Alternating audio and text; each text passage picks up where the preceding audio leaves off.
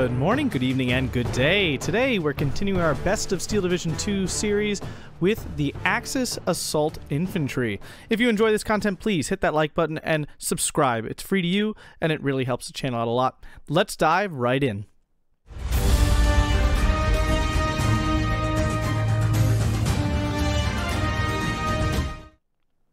So here we are with six of the strongest assault slash engineer infantry in the game. Let's just rename them as CQC close quarters combat infantry that the Axis have. There are others, uh, but I tried to find the ones that really pack the most punch.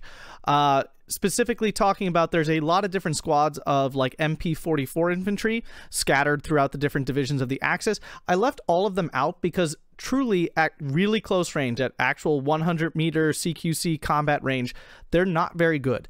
They don't perform very well under those conditions. So I really am not counting them as true CQC infantry, even though they, they can definitely kind of double as that. That is not their actual best range and primary spot to fight, which is why they're left off of this list.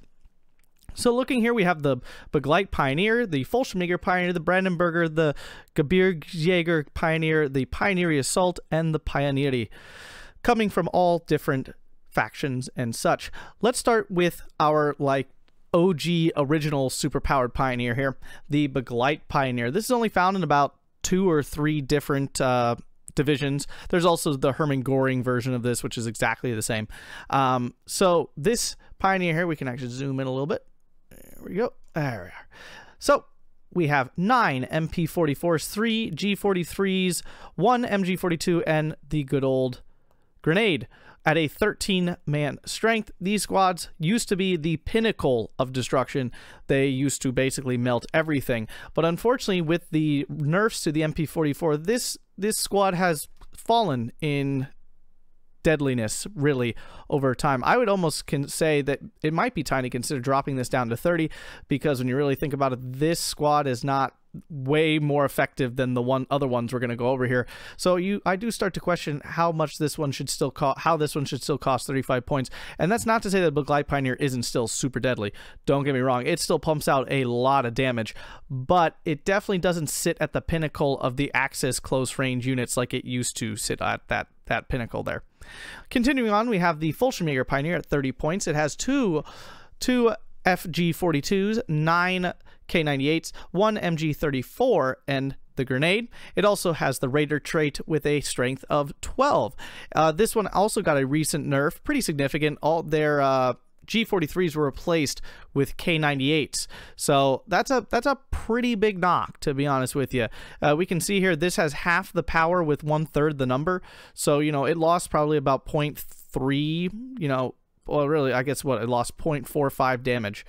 So, you know, its rifles used to be much stronger, and this does significantly weaken it at close range. So the actual like shooting power of this division at close range has been lowered quite significantly. And now it's still very deadly with the double FG42 which can fire at close range. But truthfully these these pioneers are almost more like long range infantry than true pioneers. They have the grenade and that's the only thing that actually makes them really CQC. Otherwise, this is a rifle squad if we're being totally honest about it. This is a rifle squad with a grenade. So that's that's one that's one knock on the FS Pioneer. So scrolling down here, we get to the Brandenburger, found in Group Toulon. Very strong uh, squad. It can only be brought in with two veterancy, something to be aware of.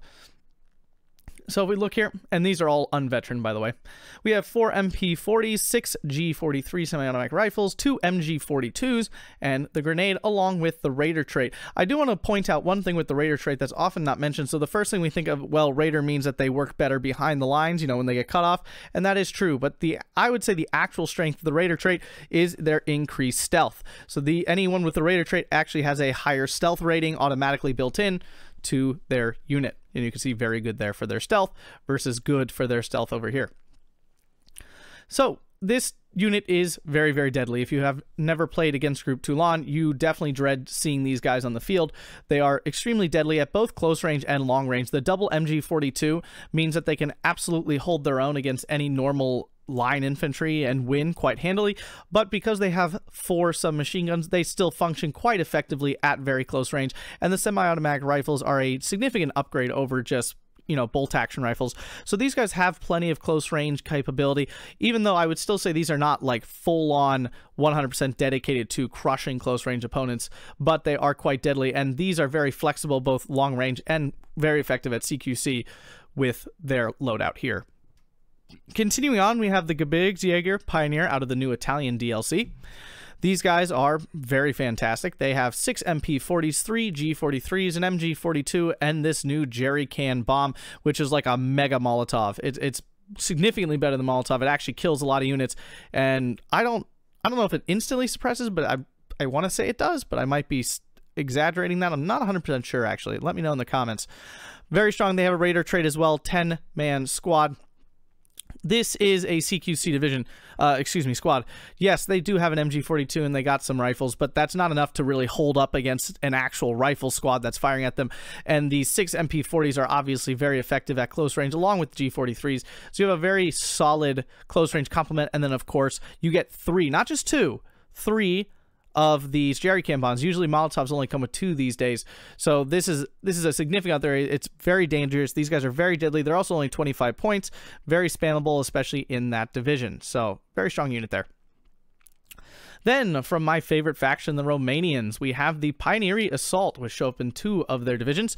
It is a 10 man squad with eight of their Orita M1941s and two flamethrowers along with some smoke.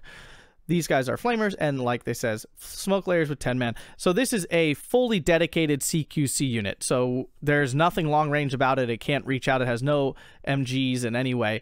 But double flamethrowers are extremely deadly in this game. You will generally dominate any CQC combat with almost any other CQC unit with this unit right here because other units with grenades really can never throw them off because you have two flamethrowers going, so they constantly have to move. Remember, you have to stand still to throw the grenade. So as long as the flamethrowers continue to fire, they never get a chance to fire. And then you have eight submachine guns just basically constantly melting the enemy's troops while they're trying to move around dodging the flames. So these are very, very potent CQC units. And finally, we have another new unit out of the Italian DLC, the Pionieri, for the Italians here. And this Pioneer Squad is quite interesting. It has four Berettas, which are, I would say, the best submachine gun in the game. Per, uh, uh, right up there next to the Thompson. They're right next to each other. Has six bolt action rifles. That's that's an unfortunate like weakness, really. That they, are not that effective. But then we have a flamethrower. Okay, that's cool. But then we also have a grenade, which is really cool. I, I'm, I'm gonna be honest. I haven't really gotten to use this this squad very much, but I have to imagine the combination of a grenade and a flamethrower is pretty darn sick. The only problem I can see is that every time the flamethrower fires, if the enemy troops go backwards, they could fall out of the grenade range and cause the grenade like throw time to reset, which could be really frustrating. So that could be a weakness. They also do have Raider. Uh, very, very strong squad here that we see. So these are some of the strongest assault slash engineer units that the Axis have. Overall, if you haven't seen my Axis versus Allies comparison, the truth is the Axis are generally lacking in CQC infantry compared to the Allies. When you think of the Soviets, they just come with Avtos and Tankos and Saperis and all those kind of things. For the Axis, really all they get most of the time are the five-man Sturm Pioneer squads, which I don't personally like at all because they're 25 points for a five-man squad that dies pretty quickly. And also Pioneers, which are average. They're really rifle infantry with with a grenade. I mean, if we're being honest, that's what they are. They're a rifle squad with a grenade, uh, which doesn't make them like really powerful CQC infantry. They oftentimes I find most of them are dead by the time you know CQC combat is over. Even though the other group is dead, you've lost most of your troops. So, you know, pioneers, while they're solid, are definitely not like superior CQC infantry. These guys, on the other hand, are generally pretty dedicated. I mentioned the weakness of the Fallschirmjäger Pioneer up here being Mm, probably a little bit more of a long range, an actual rifle squad again with a grenade. and the Begleiter can fall into that a little bit too because they have MP44s instead of you know, actual submachine guns here. If we look really quick math-wise, we see eight submachine guns doing 3.2 damage, and we see nine MP44s only doing 3.15 damage. So you can see that difference in damage output for those submachine guns. When you get up close and personal, these submachine guns really do start to dominate. You also see a much higher suppression rate, 55 versus 42. So these guys will suppress them much more quickly. That's not even counting the suppression from the flamethrower, which is really, really high. Which one is the strongest here? Um, in terms of actual CQC firepower, like you know you're up close and personal i give it very easily to the pioneer assault. If you put these all up 1v1 versus each other i believe the pioneer assault will come up on top. On the flip side in terms of like full on flexibility and deadliness at any range it's definitely got to go to either the brandenburger Begleiter or the Fallschirmjäger pioneer. Probably uh, this it's a tough it's a toss up between the brandenburgers and the Fallschirmjäger pioneers. Why? Because the brandenburgers have double machine gun and six semi-automatic rifles versus the one machine versus the two FGs really and the nine rifles along with that machine gun. So it could definitely be a toss up between either of these two squads. The problem with the Begleiter is if they're out of 300 meter range, then this squad is not strong. So that's why I don't give it to the Begleits. These guys really don't have much in the way of long range firepower, and these guys, of course, have basically none.